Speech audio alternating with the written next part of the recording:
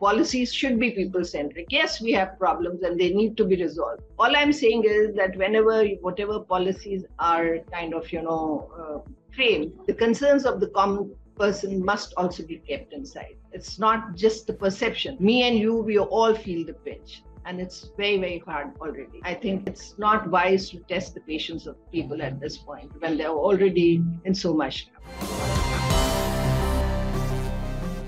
you see the stabilization policies implemented under IMF supervision are poised to exacerbate the already challenging circumstances for the people of the country. With the stagnant incomes and a mounting cost of living, citizens are already struggling to maintain their current living standard. Broad outline of the economic roadmap shared by FM uh, Finance Minister Aurangzeb Khan leave no room for doubt that Pakistanis must prepare for further economic hardship. For them, stabilization policy could potentially translate into increase in the gas and electricity bills, higher prices for petrol and diesel, elevated income tax rates and end of exemption, escalating commodity prices as the government price control diminishes and subsidies to farmers are reduced. Then limited prospects for wage salary increases amid restricted job opportunities as the rate of public investment falls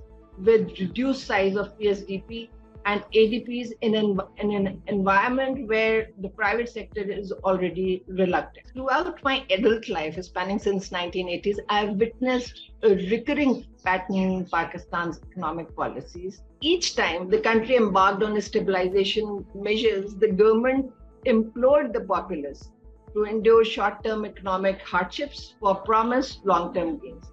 However, during the subsequent uh, periods of economic growth, the benefits have been disproportionately distributed, favoring the elite while leaving the common man marginalized. This skewed wealth distribution trend has persisted across various growth phases in the country, whether it be 1960, 1980s, or 2000s, leading to widespread discontent and the forced exit of rulers during those periods. Our economic history highlights the fallacy of assuming equitable trickle down of growth policies. In my view, rather than blindly adhering to outdated notions, a democratic government should and must prioritize the well being of its people. It's imperative for such a government to demonstrate empathy towards the challenges faced by citizens, not merely professing concerns but actually taking taking visible measures to alleviate their burden.